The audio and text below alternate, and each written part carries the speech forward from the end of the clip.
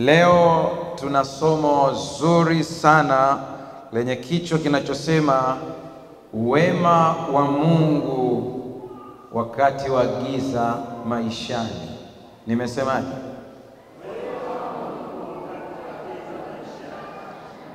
Hebu nisikie kwa sauti kubwa. E, kila mtu ambaye yuko hapa ninaamini kabisa kama utakuwa mkweli, hutakubali kuwa mnafiki, utakubali ya kwamba kuna wakati katika maisha unaona giza. Hata kama ni mtu ambaye unasali, unaenda kanisani, kuna wakati giza la maisha linakuja. Wakati wa giza la maisha likitokea, wakati wa changamoto za maisha zikitokea, je, wakati kama huu wema wa Mungu huwa unakuwa wapi? Je, unaweza kuona wema wa Mungu? Tuliona jinsi ambavyo Daudi alivyokuwa na Mungu katika maisha yake. Kwa hiyo baadaye ukimwona Daudi, ukimwona akimtolea Mungu sadaka, ukimwona akimwabudu Mungu katika roho na kweli, ni kwa sababu alitambua wema wa Mungu. Haleluya! Leo tunamwangalia Ibrahim, baba wa imani, ambaye huwa tunamsifia sana akiwa na mambo mengi yaliyo mazuri, lakini pamoja na imani yake, pamoja na sifa anazopewa, kuna wakati alipita gizani. Niwakumbushe kidogo juzi na jana, na nitaendelea kusema hili. Ukihitaji uwe mshindi katika maisha ya kiroho, jifunze kwa wazee wa zamani. Haleluya, haleluya. Hey, kuna msemo mmoja mzee Marekani anausema, sijui imewahi kuusikia kwamba uh, vijana wana mbio lakini wazee ndio wanaojua njia. Mshike mkono jirani yako, mwambie umeelewa.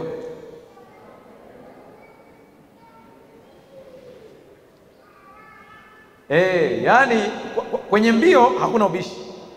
Vijana ukiwaambia wakimbia, anasema wanaweza kukimbia vizuri kabisa, lakini huku wanapokimbilia njia hawafanye nini? Hawajui. Sasa wanasema nyie vijana, pamoja na mbio zenu, pitieni kwa wazee wanaojua njia kwanza. Haleluya! Hakuna jipya chini ya jua, hakuna changamoto ambayo unaipitia wewe ambayo unasema wenzangu hawakuwahi kupitia. Tena ngoja nikwambie, baadhi ya mambo ambayo unalalamika katika maisha yako, ukiona kama ni makubwa sana, ukiona ni mazito kwenye maisha yako, siku ukijua ya wengine utajua wewe una nafuu. Habari ya jioni. Eh, ni rahisi kulalamika, jamani, naumwa, unasema mgongo kila siku nikijaribu kusimama mpaka niende hatua kwa hatua mpaka nisimame na maumivu mengi. Unahitaji watu wote wakuhurumie, wajue kwamba wewe ndiye unayeumwa pekee, unalalama. Lakini kuna siku utakuta mwenzako ambaye miguu yote hana kabisa, amekatwa kabisa, alipata ajali akaisha kabisa anaishi kwenye kitanda na hawezi kunyanyuka. Kuna siku utaenda utamkuta mtu ambaye hana taya la chini, amebakisha taya la juu. Wewe jino unatangaza dunia yote, hey, vipi sasa jino? Ukimwona ambaye hana taya, Mungu atusaidie sana wema wa Mungu wakati wa giza. Kwenye kitabu cha Mwanzo sura ya kumi na tano Mwanzo sura ya kumi na tano fungu lile la pili, na huenda nitahama kidogo baadaye, nitaangalia kwenye Kiswahili cha kisasa, maana kuna lugha ambayo nimeipenda iko pale imetumika, lakini tuanze Kiswahili chetu cha kizamani. Anasema Abrahamu akasema, E Bwana Mungu, utanipa nini nami naenda zangu. Hali sina mtoto, na atakayemiliki nyumba yangu ni huyu Eliezeri Mdameski. Angalia Kiswahili cha kisasa, anasema fungu la pili, lakini Abraham akasema, ee Mwenyezi Mungu, utanipa nini hali naendelea kuishi bila mtoto, na mrithi wangu ni Eleazari wa Damasko? Hebu naomba ukae mkao mzuri, tuanze kudadavua vizuri kwa pamoja. Wewe tangu ubatizwe mpaka leo unavyoniangalia sasa hivi hapa, umewahi kuongea na Mungu ukamsikia sauti yake akiongea na wewe? Naongea na watu au na binadamu? Umewahi kuongea na Mungu ukamsikia na kusemesha na wewe unamsemesha, mnaongea, mnajadiliana? Ongea ukweli wa moyoni. Malaika wako hapo anakuangalia, alafu useme ndio, kumbe unatudanganya, unatufunga kamba hapa, wakati huenda zamu yako ya kuongea naye ni leo, alafu unapigiwa tiki kwamba ulishaongea naye, kumbe bado. Sikiliza, katika raha ambao walikuwa nao wenzetu wa zamani, japo ukisoma Agano Jipya anasema sisi tunaoishi baada ya Yesu Kristo tuna raha kuliko wao. Wakati mwingine hatujui, tunatamani kuwa kama wao. Mojawapo ya uzuri ambao tunautamani kwao ni kwamba mtu kama Musa alikuwa anaongea na Mungu moja kwa moja. Mtu kama Abraham alikuwa anaongea na Mungu moja kwa moja, wanajadiliana, wanaongea vizuri. Mimi nasema hivi, ni bora tu wa Agano Jipya sasa hivi tunaongea naye kupitia neno, maana kama angekuwa anasema na sisi kama alivyokuwa anasema na wale, pasingetosha. Unasema mchungaji, mimi sikuelewi. Wewe piga mfano kama Musa, yule mwanaume alikuwa jasiri, si wa kawaida. Amechunga kondoo, ameshamaliza, anakaribia kurudi nyumbani, ghafla anakuta kichaka kinawaka moto, alafu akiteketei. Hadi nikupe mfano wa pale nyumbani kwako, ndipo utanielewa. Piga picha wewe uko sebuleni kwako, unakuta moto unawaka kwenye sofa, lakini haliungui. Utasimama hapo? Breki ya kwanza kwa pasta. Lakini sikiliza, jamaa, ujua si wa kawaida. Anaona kichaka kinawaka moto, alafu Biblia inasema naye Musa akasema, nitageuka niyaone maono haya yana maana gani? Akasema hii si kawaida, ni maono haya. Alafu sauti inamsemesha inatokea kwenye kichaka ambacho kinawaka moto, anamwambia Musa, Musa, vua viatu vyako. Hutanielewa mpaka ukiwa huko pale nyumbani kwako sebuleni, wakati ndipo unakula ugali na dagaa sijui na samaki na sato yako, alafu na sukuma wiki, ndipo utamu wa ugali uko katikati. Unasikia tu pale kwenye ukuta wako panawaka mwanga na kinachowasha hukioni, ndipo unasikia unaitwa jina la kwako, Luka, Luka, Mwita, Mwita, Oliva, Oliva, Esta, Esta, Hasani, Hasani. Acha kula ugali na maongezi na wewe, alafu kinachoongea ukioni. Lakini Abrahamu namshangaa sana. Yeye cha kwanza anatokewa na Mungu. Mungu anamwambia ondoka kwenye nchi yako wewe mwenyewe, nenda kwenye nchi ambayo nitakuambia habari zake.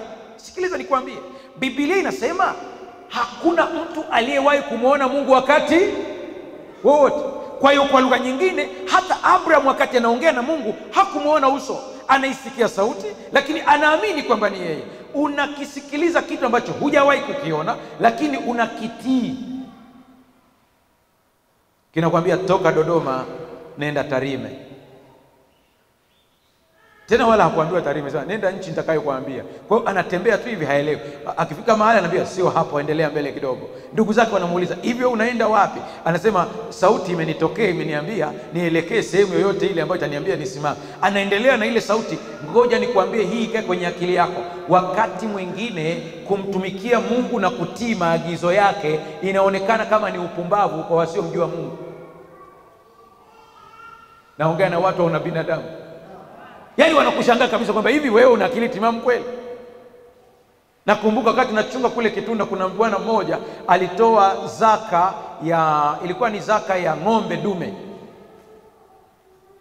kijana wa Kikuria, ana, ana viapo na Mungu wake, akamwambia Mungu, ukiendelea kutunza hawa ng'ombe, zaka ya kwako nitahakikisha nakupa. Siku moja ananiambia kwamba mchungaji, njoo na mzee wa kanisa, kuna ng'ombe hapa, ni zaka. Baba yake alikuwa yuko pale, ametokea kijijini, amekuja yuko pale nyumbani kwa huyu bwana. Tukaenda na shemasi wangu mmoja, tukafika pale Pastor Bomani. Kufika pale, mzee wa Kikuria anatambulishwa pale kwamba huyu ni mchungaji na huyu ni mzee wa kanisa. Nasikia akauliza, anasema Mbaga ndio nani? Nikamwambia mzee, ni mimi. Anasema nilikuwa nakutafuta, na haongei kwa heri, anaongea kwa shari. Akasema nyie ndiyo mnaofanya kijana wangu amekuwa mjinga kiasi hiki. Nikamwambia ujinga uko wapi? Anasema mwanaume mzima na akili zake anachukua eti ng'ombe, namwambia huyu ng'ombe tumuuze, anasema eti ni wa Mungu, amewahi kumwona Mungu. Nimemwambia ng'ombe mzima kama huyu unawapelekea tu wanaume wenzio, hawa wanaenda kula.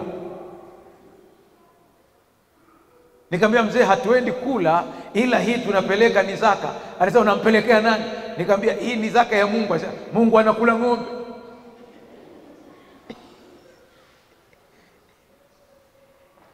Lakini huyu bwana ana, ana maagano yake na Mungu. Maana ukimsikiliza anasema kuna wakati ali, alitamani kuwa mfugaji mzuri, lakini kila wakati akifuga ng'ombe walikuwa wanakufa ovyo, na alikuwa na ng'ombe wengi, na watu wakamfuata wakamwambia, sikiliza, acha ujinga wewe dini utaenda kama kawaida, kanisani utaenda kama kawaida, njoo tukuonyeshe kuna dawa hiyo, ukiiweka tu hapa mambo yanakuwa sawa sawa. Akawaambia siendi. Akaambia kama kuna wajinga duniani, wewe ni mmoja wao. Angalia fulani, ng'ombe alikuwa anakufa kama wako, alipoweka ile dawa mambo yako vizuri, changamka. Akagoma kabisa. Huyu aliyesema amina ndio ameelewa kwamba hiyo ni ya amina kweli kweli.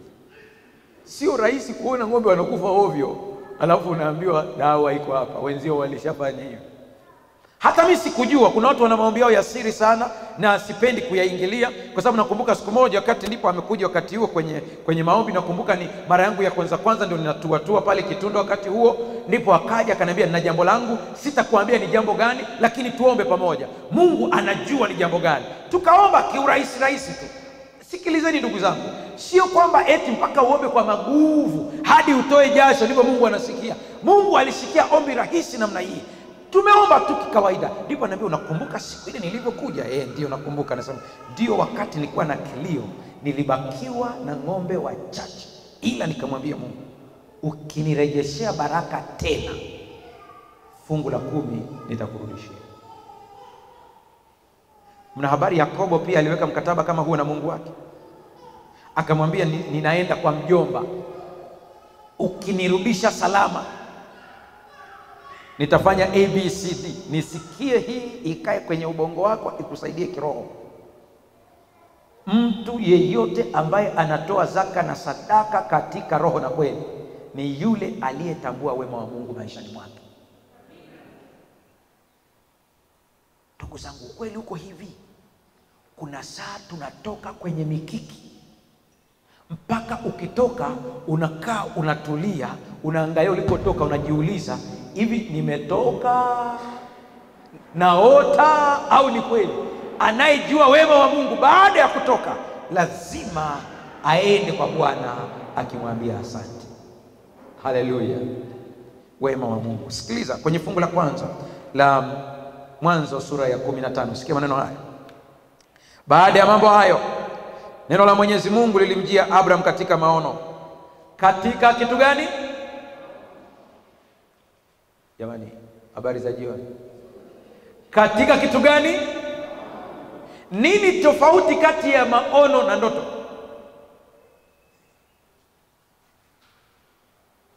Nyosha mkono.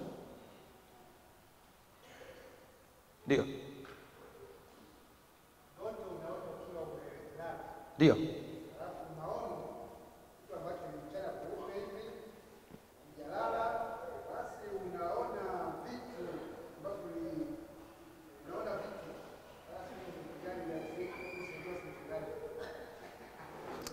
Wewe umejitahidi sana, na kwa sababu hiyo ukitoka hapo nje, nenda kwa mwinjilisti wa vitabu pale, mwambie akupe kitabu kinaitwa namna ya kuisikia sauti ya Mungu, akupe bure, asikuchaji.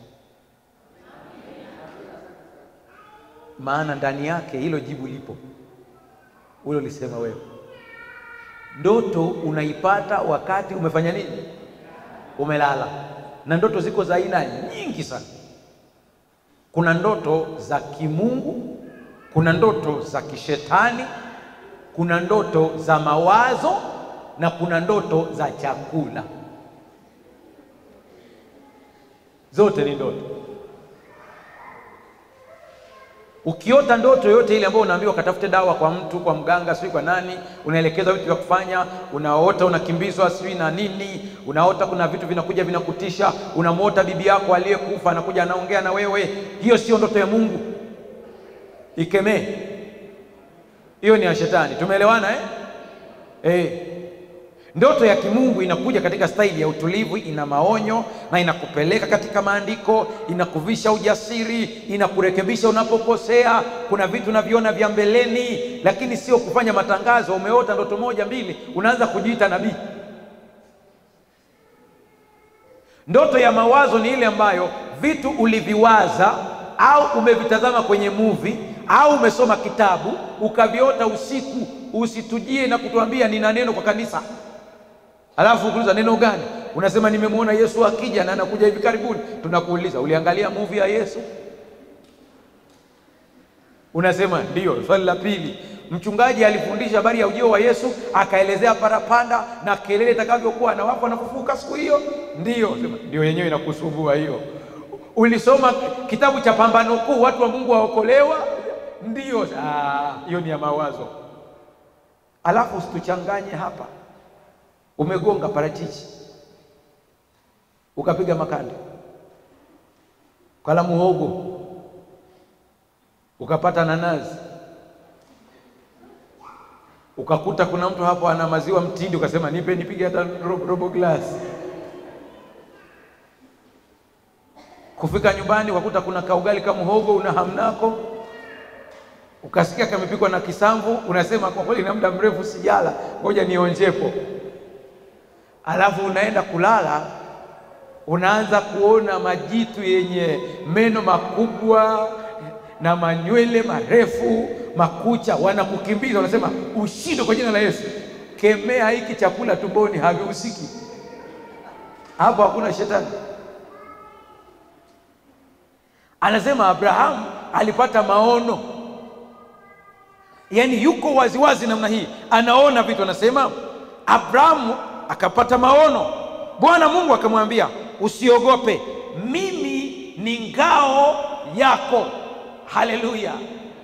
Ndipo kwenye fungu la pili anasema, lakini Abrahamu akasema. Sikia muunganiko hii sentensi. Mungu anamtokea kwenye maono, anasema mimi ni ngao yako. Nilitaraji Abrahamu angesema asante Mungu, mimi umenifanya mtoto wako, umekubali wewe uwe ngao. Asante Mungu. Abrahamu anamwambia Mungu, aa, tuelewane. Hey, naomba unitazame vizuri hapa katika Biblia. Kama mmeangalia Daudi, mmeangalia kina Musa, leo tunamwangalia Abrahamu. Wote waangalieni vizuri kabisa, wote waliofanikiwa hawakuwa wanafiki. Nimesemaje? E, nataka nikwambia hata kwenye kuomba, ukipiga magoti unapoongea na Mungu, acha unafiki. Yaani una uchungu na Mungu moyoni, alafu unajidai huna uchungu. Unasema sijaelewa. Yaani kuna kitu kimetendeka kwenye maisha yako ya kiroho, ya kimwili, hujamwelewa Mungu kwa nini amekutendea. Alafu ukipiga magoti, badala ya kumwambia Mungu ukweli, unaanza kujibaraguza baraguza kwamba Mungu, naelewa tu Baba, una hekima nyingi kuliko sisi kwa hiyo Baba nalikubali hili, wakati moyoni unasema kabisa mm. Umesahau unayeongea naye anasoma mpaka kitu gani? Mpaka moyo. Sasa unasema mchungaji, kwa hiyo tuongeje na Mungu? Mimi nisikilize, nikwambie, ikusaidie. Hata mimi naongea na wewe, sifanyi unafiki kwa Mungu. Kama kuna kitu sijamwelewa, tukiongea, namwambia wazi, ninakukubali wewe ni Mungu wa miungu, mfalme wa falme, ninakukubali kabisa, lakini kwa hili uliloruhusu litokee kwangu sijakuelewa. Wewe unaelewa utakavyonielewesha, na Mungu unajua katika hili sijalikubali. Sasa mbona unaanza kuogopa? Sasa ngoja nikwambie, unafikiri unamfanyia Mungu unafiki, kwani hajui kabisa hujalikubali? Mwambie tu straight. Abrahamu anamwambia umesema wewe ni ngao. Eh, ndio nimesema nitakuwa ngao yako. Asema mimi sikuelewe. Kwa nini unielewe? Unakuwaje ngao yangu wakati mimi nakufa hali sina mtoto? Anayekwenda kurithi ni mtumishi wangu. Mungu, mimi sikuelewe katika hili. Angalia fungu la tatu, anasema tazama, hujanijalia mtoto mtumwa wangu aliyezaliwa nyumbani mwangu ndiye atakayekuwa mrithi wangu. Fungu la nne, ndipo Mwenyezi Mungu akamwambia, huyu hatakuwa mrithi wako, mwanao halisi ndiye atakayekuwa mrithi wako. Haleluya, haleluya. Ngoja nikuamshe tena katika usingizi wa kiroho. Tutaangalia huko mbele ya safari. Nataka tutudandie bodaboda kwa mbele kidogo, maana imepunguza mwendo isije ikatugonga. Sikiliza, Yakobo yule mwanaume, mimi nampenda sana Yakobo, ni namba nyingine. Ndio maana mpaka Mungu alisema kabisa, Esau nimemkataa, lakini Yakobo nimefanya nini? Nimemkubali. Yule jamaa, ukitaka ujue ule ubongo ulikuwa ni ubongo mwingine. Ona kwanza, anajua kupika. Habari ya kwako? Najua nikifika hapa wanaume wanaweza kusema kwani hiyo ini, ni, kuna akili gani natumika? Ingia jikoni utanielewa. Kama hutatuletea ugali ambao una wanafunzi hawa, mama muwaone hivi, kupika sio kitu kidogo, na ndiyo maana serikali katika katiba inatambua kabisa kama mke wako alikuwa ni mama wa nyumbani, usije ukadhani kwamba siku mnapoachana ataambiwa yeye ni mama wa nyumbani, kwa hiyo hawezi kurithi chochote. Unaambiwa wakati unaenda kutafuta alikuwa anakupikia, na kupika ni utaalamu, ni physics na chemistry. Kushika ule mwiko sio mchezo, kuchanganya ule unga mpaka ugali utoke. We toa wali wa nazi tukuone hapa kama hutuchanganyii mafaili hapa. Cha kwanza, Yakobo alikuwa anajua kupika, lakini cha pili alikuwa ni mtu wa mikakati. Nenda kasome Biblia vizuri.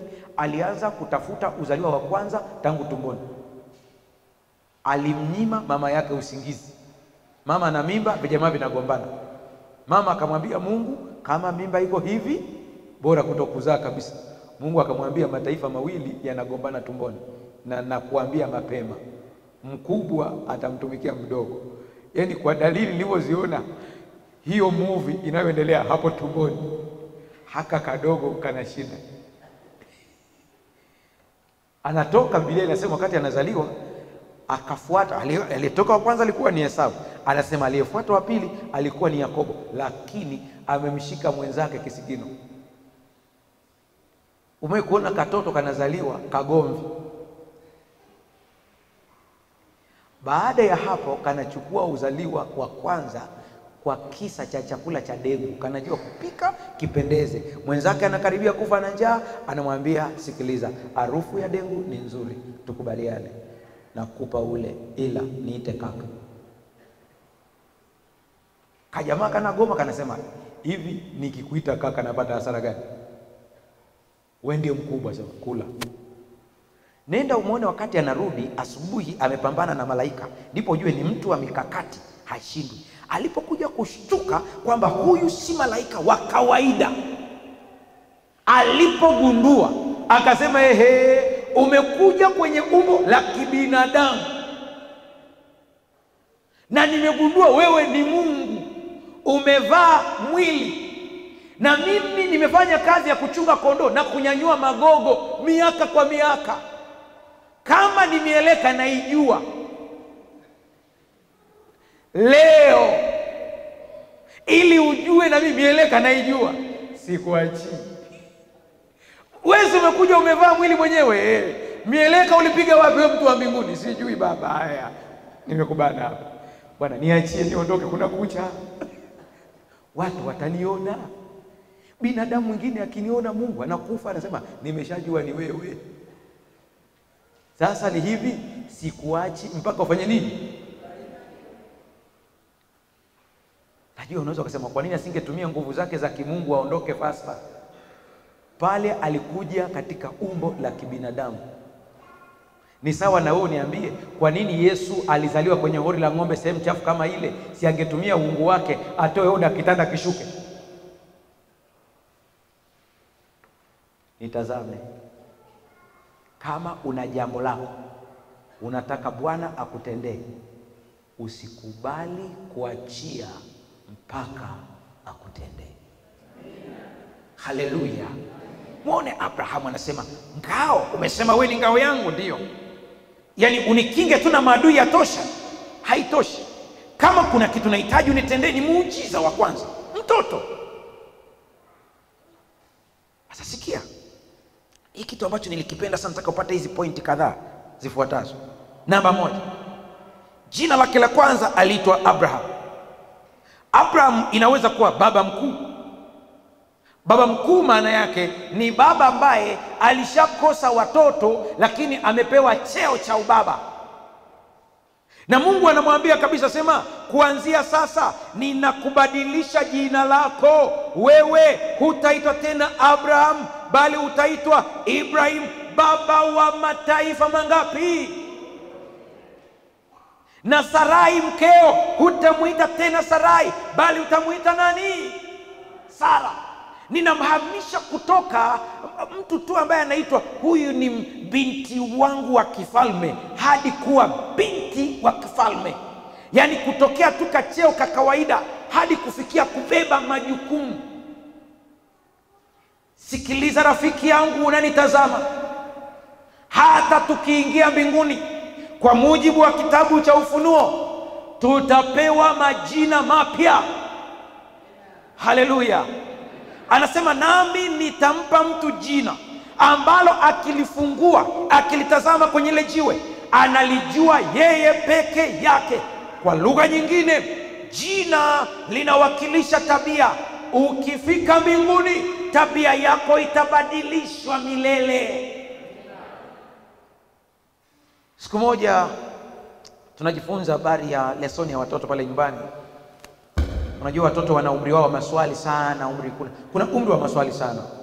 Sasa huyu mtoto wetu mdogo huyu ana maswali mengi kama mwenzake alivyokuwa zamani.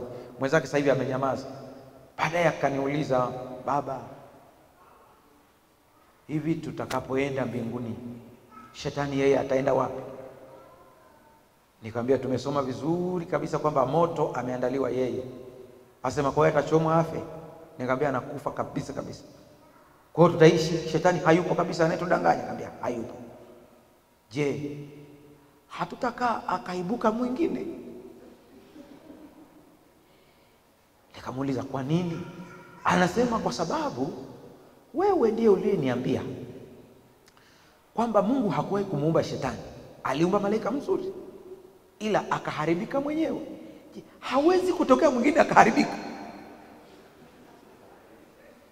Sasa ni huyu mtoto umjibu kwa levo ya kwake, akuelewe.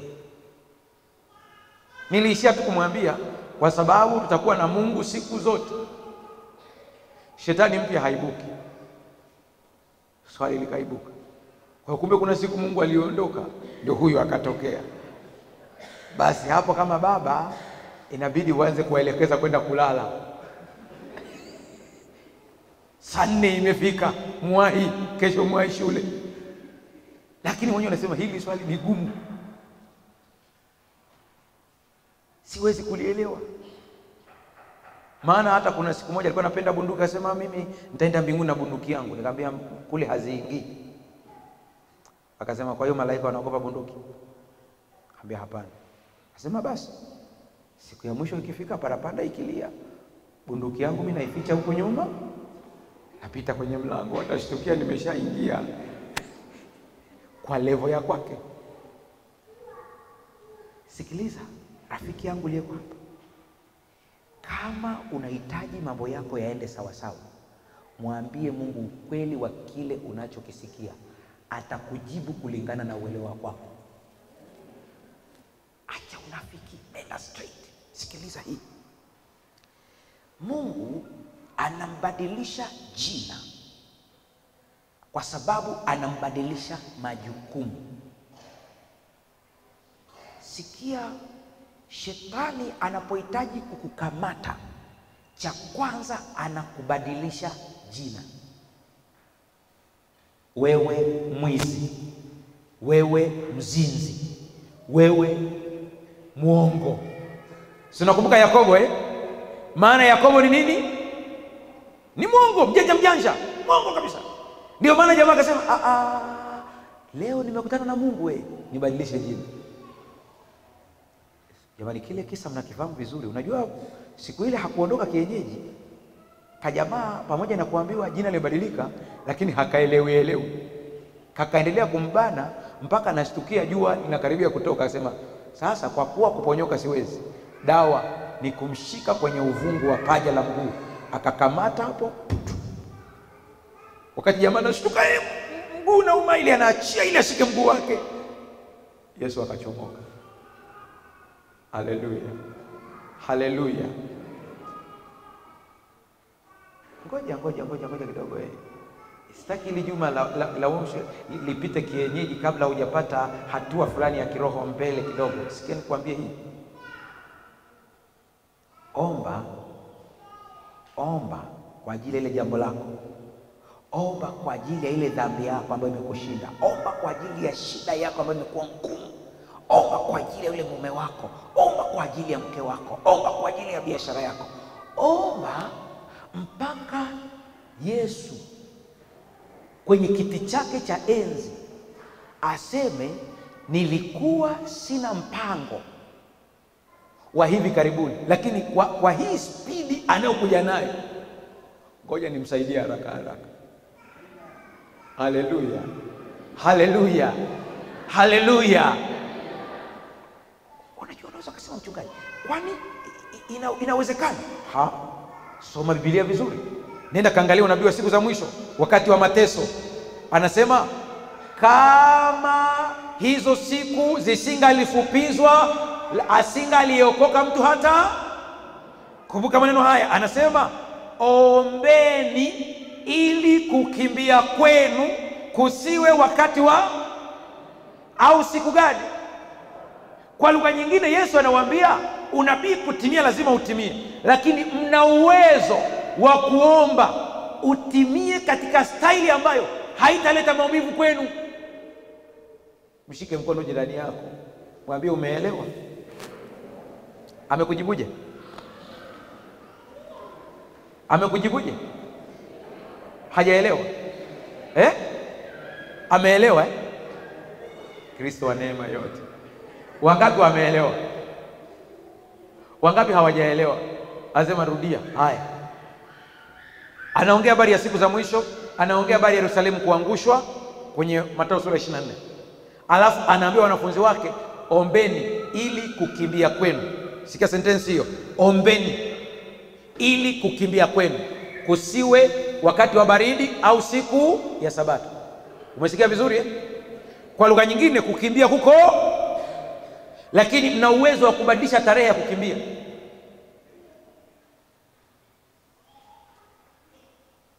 Habari ya kwako? Yaani unajua Wakristo mngelijua baraka mliopewa chini ya Yesu Kristo. Sasa nashangaa kuna wengine wanajiandaa na mateso, wanaenda huko misituni, wanakuambia tunafanya mazoezi, taabu ya Yakobo ikija tujikute tuko tayari. Nikwambie, taabu ya Yakobo kwanza sio hiyo ya kwenda misituni. Hata hilo fundisho lenyewe mmelipondosha, halina maana hiyo.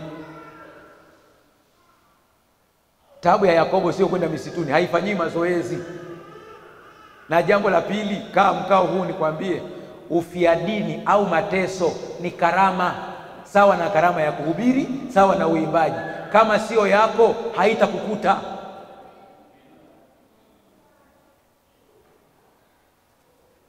Haleluya, haikukuti wala usijipange.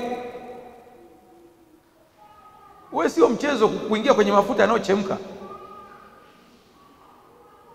Wewe unachoma tu na maji ya chai, unapiga kelele, nyumba ya pili wamesikia. Yesu, Yesu kaitwa sema maji ya moto. We angalia, Yohana anaingizwa kwenye mafuta yanachemka kabisa, jamaa mpaka anashuka anaendelea kuimba, yataka moyo mpaka mafuta yanagoma kuunguza. Niombee tu nitoe kitabu changu haraka sana, niko katika chapta za mwisho mwisho, naelezea mitume mmoja mmoja maisha yao na jinsi walivyokufa. Kuna watu humo, wakati nafanya hii research nimesoma mpaka nasisimkwa na mwili, nasema hawa jamaa walikuwa sio wa kawaida. Kuna mmoja ametundikwa msalabani, nadhani alikuwa ni Tomaso. Wakati ametundikwa, wakaona hafi, anaendelea kuimba, wakamtoa, wakaamua kuchuna ngozi, anachunwa, mwanaume anahubiri